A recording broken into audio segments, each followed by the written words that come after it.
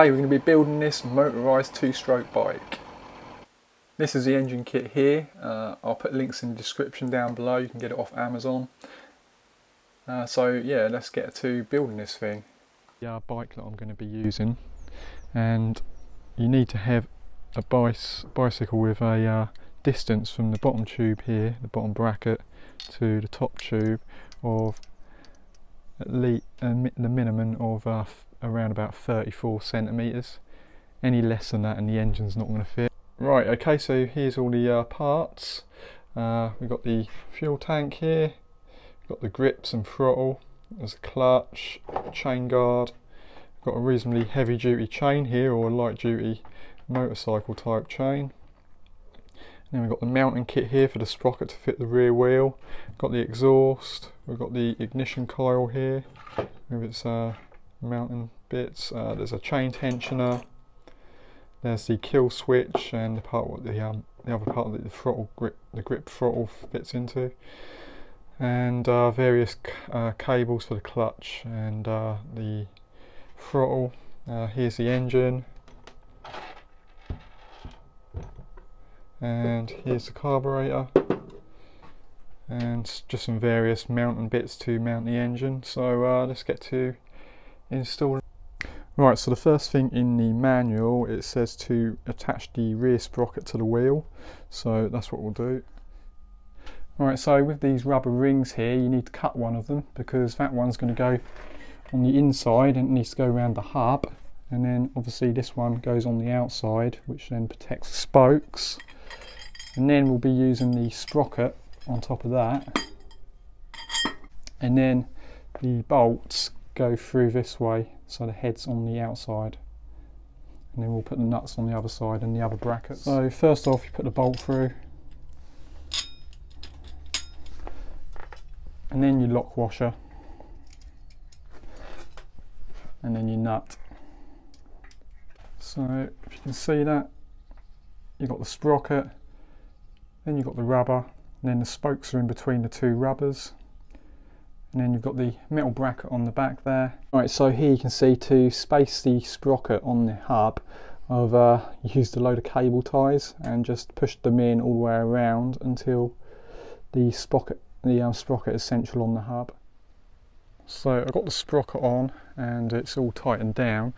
So the sprocket you actually need to true so it's square with the hub and then I've just been putting my fingernail against here so I can feel for the high spots and then tighten the high spots down to square the sprocket up to the hub. So the next bit is fitting the engine. Uh, on my one I'm pretty fortunate, it basically just fits in here nicely. I've got the carburetor on here to make sure it's going to fit properly and I can use the standard brackets which come with it. You also get this uh, U uh, bolt brackets assembly as well. Alright, so here we are, got the engine mounted. And I did um, just get the chain and just kind of line it up to the sprocket to make sure it was going to line up properly. Alright, so we'll just put the clutch on first. Then next bit, grip. Uh, way of getting these on is to put a little bit of washing up liquid, um, diluted washing up liquid on there, because the uh, washing up liquid will, um, will evaporate after a while, whereas if you Right, so fitting the throttle and the uh, kill switch. So you're going to want to make sure this is all nice and smooth. Uh, put some grease in there, preferably white lithium, which is okay for plastic. And then this will rotate nicely. Next thing you're going to want to do is to fit the kill switch on here. Now you're not going to, what you want to do is you don't really want it so it's like this. So you want to pull the actual mount up as far as it will go so you don't get too much side movement and then also the top clamp it's got this pin in here. You can see that you're going to need to drill a hole in here. Uh, you need to make sure that you get the kill switch at the right angle where it's easy to get to. And you can also put some white lithium grease inside here so it doesn't wear out as quick. So yeah I'll just drill that and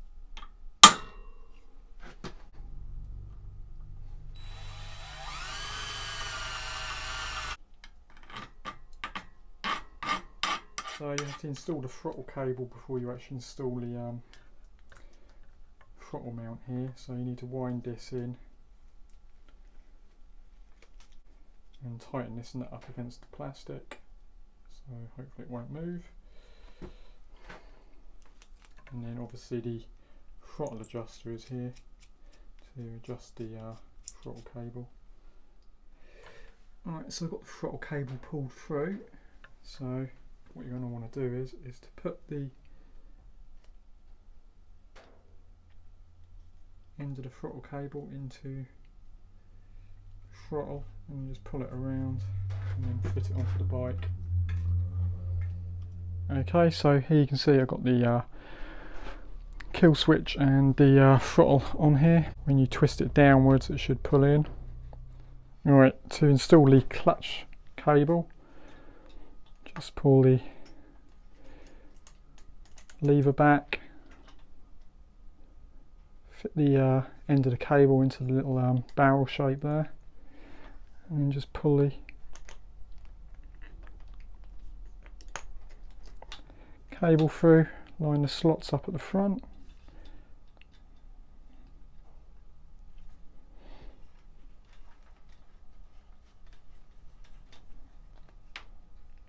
And there we go, all done.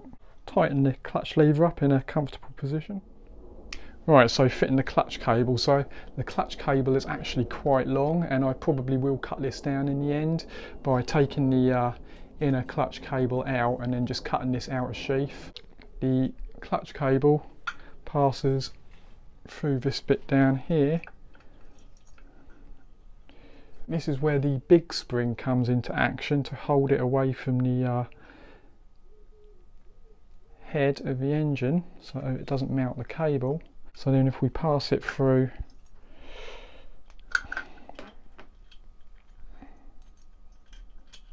here like this and then I'm pretty sure this is what the small spring is for that goes over the cable and that acts as the uh, return for the clutch and then the cable passes through this lever. So how tight we need this I'm not sure at the moment but I'm just going to kind of we can adjust this later. Just going to kind of give it a little bit of tension with the clutch lever out. Just going to clamp that there and tighten this screw down to clamp the clutch cable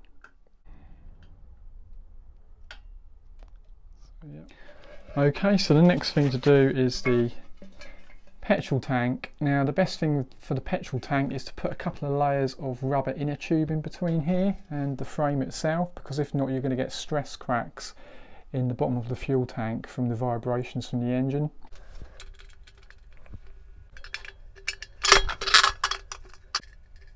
One thing I was thinking about is this when once you've got this tank filled up there's going to be a chance that if you're going along uneven ground off-road with it the tank could fall to one side.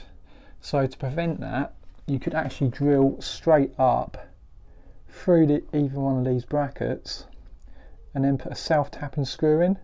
And that would also mean that you'd be able to loosen off on these bolts here which go these are threaded rods here which go straight to the bottom of the tank. So now I'm just going to install the uh, fuel shut-off valve. Uh, what I'm going to actually do is it's got a rubber gasket on here but I'm actually going to wrap some um, plumber's tape around there, some PTFE tape to make sure it's definitely not going to leak.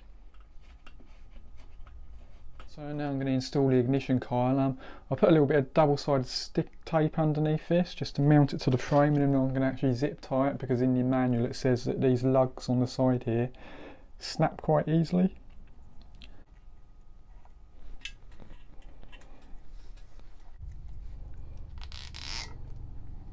Right, so the wiring is pretty simple. So the wires from the engine, the black and the blue, we just connect the blue here to the ignition coil and the black here.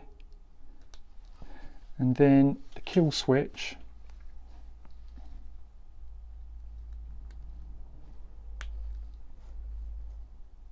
Into those two sockets.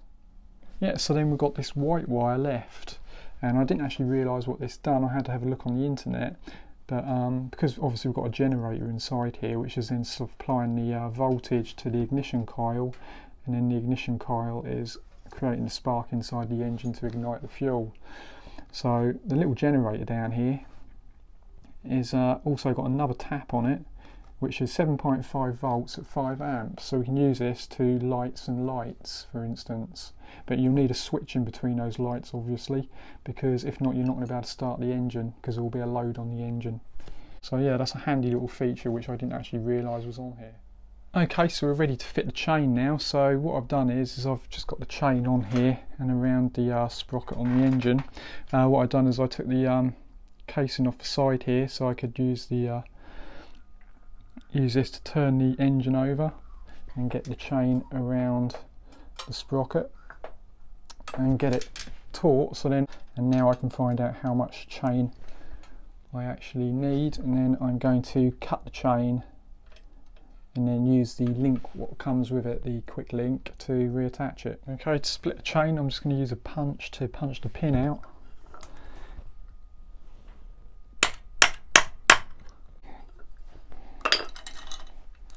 And I've got the quick connect link in there.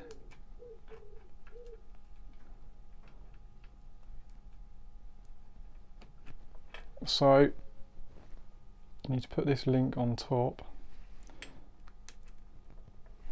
And then the locking link you need to make sure that this side goes the direction that the engine's turning. Because if not if you put it around the wrong way if it gets snagged this will pull off and then your chain will fall off on you and there we go that's the chain you can see I've got the chain tensioner installed. And in the book it says to set this reasonably far back. So when you initially set it up the pulleys at the bottom of this adjuster. So that means then when the chain stretches you're able to move this up and uh, take the slack out of the chain. Uh, one thing I would su suggest is uh, on the actual brackets possibly drill a hole through and then put a self tapper screw in there just in case this did twist and go into the spoke. This case in here which covers the uh, sprocket, the drive sprocket, um, this lever on the inside of this um, casing you need to lubricate that with some grease. So you just basically twist it off. You'll get to one point and then it will come you'll be able to pull it out. You need to grease this. Also here the end of this shaft. You need to grease this as well. There's a ball bearing inside here so watch it doesn't fall out because if not the clutch mechanism won't work. And then just put it back together. Right so next we're going to be putting the chain cover on. So the mounting nut for the chain cover is actually on the back of this um, machine screw here which goes all the way through the case and out the back on the back here there is a nut and that's where you're going to attach your chain guard. Here is that nut there. Alright so now I'm just going to install the exhaust. It is an exhaust gasket it should come with.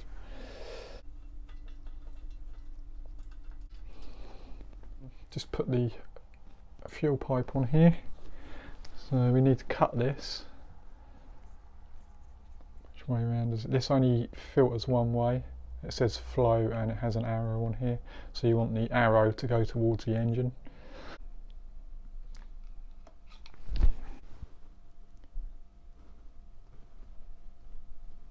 The other bit on the carburetor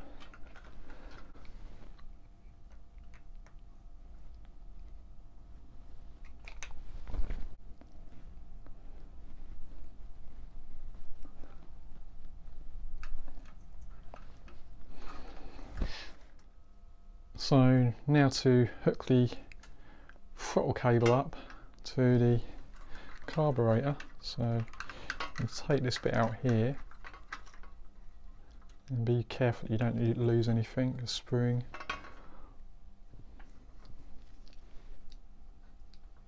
Or the needle. This might be better to do it actually off. Make sure you don't bend that needle as well, because if not, it's going to be useless. So, the way this is assembled, you've got the needle that goes in first, and you've got to line it up with this slot in the side, and then there's this little washer which goes on top. Drop that in and line it up. Now if you get the throttle cable, slide through. So in the base here, there's a little hole where the little nub goes on the end of the cable. So you need to hook that in the bottom there. Just like that. And then pull this over the top. And then there you go. Pull the throttle that should pull the needle in and out. It'll only go in one way because there's a slot on the inside. Make sure you don't bend that needle. And then just screw the cap on and you're done.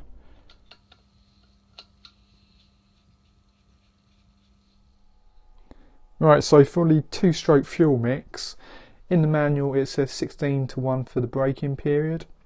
So on my mixing bottle it hasn't actually got 16 to 1 so I simply went onto the internet and found a oil mix chart and here it says 1 litre for 16 to 1 63 millilitres. So I'm only going to use uh, 500 millilitres of fuel and I'm going to put 30 millilitres of oil in so that should be pretty good in case that's all set up, I've got the fuel in now, the fuel mix, I've done it in a uh, Stihl chainsaw bottle and I only mix like 500 mils up. Right, so I'll just quickly show you how to start the engine. So first off, when you first start, turn the fuel on, make sure that's on, put it to the on position.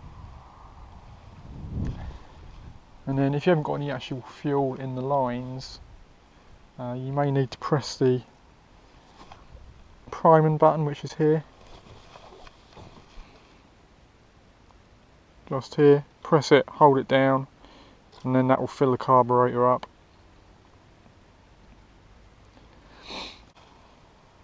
You may also want to put the choke on which is here.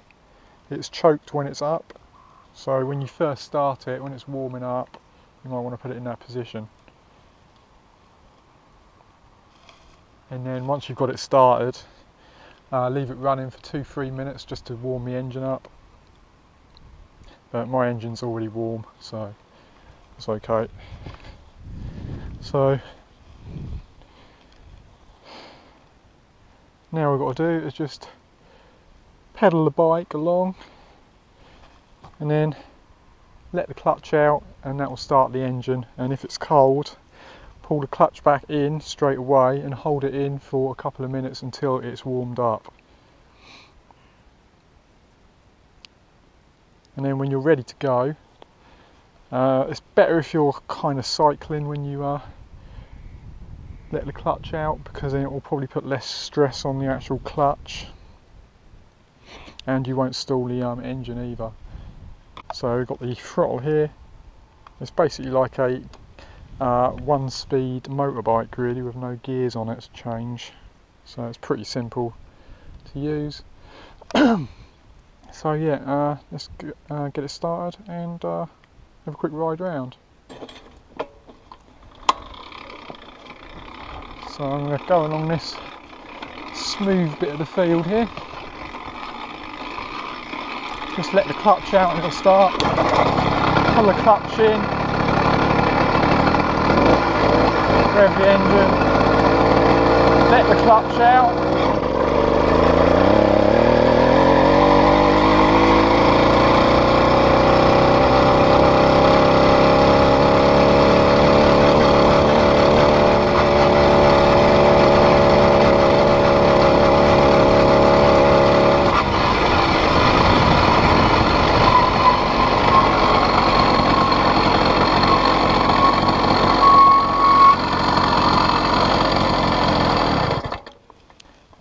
before you actually come to a stop you want to pull the clutch in because if not you'll stall the engine So yeah, when you want when you want to come to a stop, let off on the gas.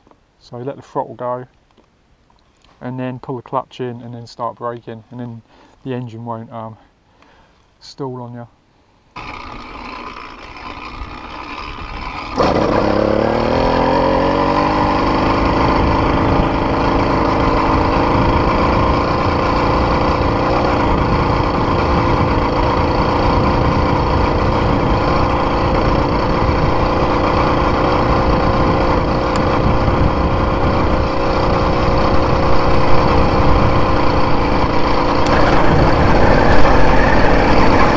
Oh my god, this thing's so fun!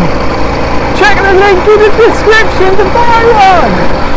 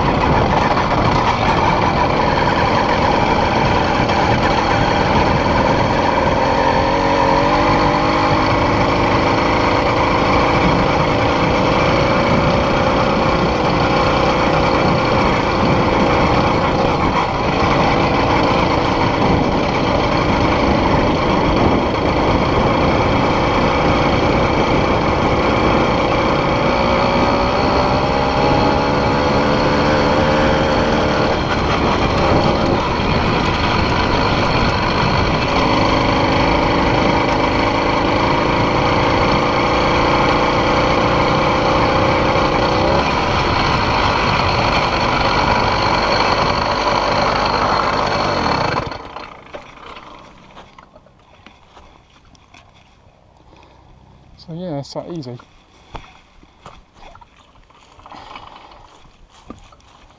Once the engine's warmed up, it starts really easily. It only took about probably about five or six meters for the engine to start from cold and worked absolutely fine. I haven't um, adjusted the carburetor or anything yet, so. Right, so if you are thinking of buying one of these kits, I would, you know, for the money, I think they're well worth, well worth it really. Uh, it's a lot of fun to build and it's a lot of fun to ride. And uh, yeah, I mean, I didn't really have any problems assembling it at all. So I think as long as you've got the right size frame so the engine will fit inside it, you should be pretty good. It's easy to ride as I've shown. Um, yeah, just brilliant really, it's good, a lot of good fun. So yeah, I'll put links in the description to it and in the comments section below. Go take a look at it. Uh, please comment, let me know what you think about it. Uh, give the video a thumbs up if you liked it. Please subscribe and hit the bell icon, be much appreciated. Thanks so much and I'll see you next time. Bye.